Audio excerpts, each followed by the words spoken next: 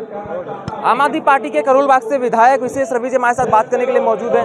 Sir, क्या कहना चाहेंगे? आज आप प्रदर्शन कर रहे हैं, जिस तरह से पहले हाई कोर्ट ने एक तरह से जमानत दे दी थी, लेकिन सीबीआई ने दोबारा से गिरफ़्तार कर लिया है।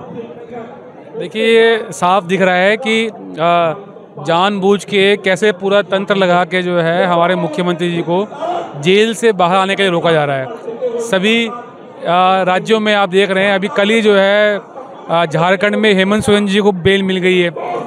उसके बाद कोई कोई, कहीं कोई समस्या नहीं हुई। हमें विश्वास है कि आज नहीं तो कल कोर्ट जो है मुख्यमंत्री जी को रिहा करेगी। मुख्यमंत्री अरविंद केजरीवाल को आज जब सीबीआई के सामने पेश किया जाएगा तो राहत मिलने की थोड़ी बहुत उम्मीद है। एम न्यूज़ के लिए दिल्ली से शुभ से